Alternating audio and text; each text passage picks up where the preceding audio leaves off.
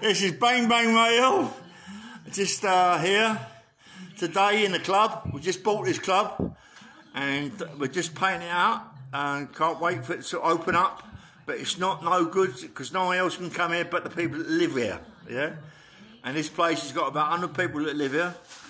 It's uh, worth a fortune, this place. It belongs to uh, a very good friend of mine by the name of Terry.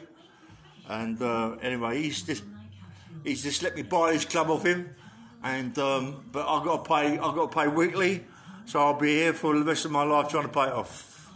Anyway, everybody can see what it is, where it is. It's absolutely fantastic. I'm just going to walk over later on and look at that caravan over there because he said I can stay in there for a couple of weeks. Lovely. Take care. Have a nice day.